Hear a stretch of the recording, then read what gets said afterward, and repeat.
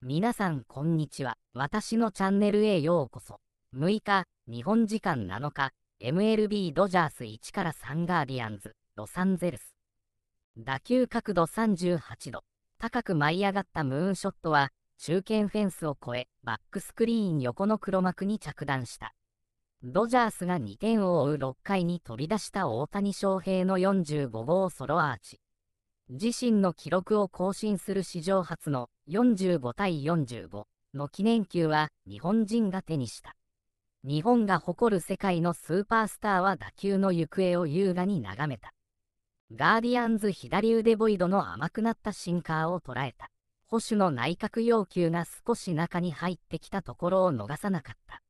大谷にとって左腕の内に食い込む球はあまり得意ではなかった。だが、敵地のダイヤモンドバックス戦でもしつこく左腕に迫られた懐を大谷は攻略。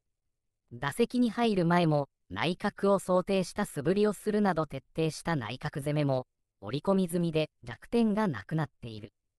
9月初アーチの一振りで自身2度目で最多タイの100打点にも到達。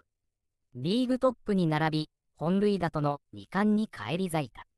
あと1本塁打で MVP を獲得した2021年に並ぶ46本塁打に達し、シーズン自己新の47号到達なら、韓国出身のチュシンスが持つアジア選手としてメジャー最多に並ぶ通算218本塁打となる。一本一本が記録となり、伝説となる。ロバーツ監督は前人未到の50本塁打50盗塁についてかなり可能性が高い。彼は目標に向かっている人間で、記録を更新するのが好きな男だと絶賛する。チームは打線が大谷のソロ1本に終わり、2連敗と足踏み。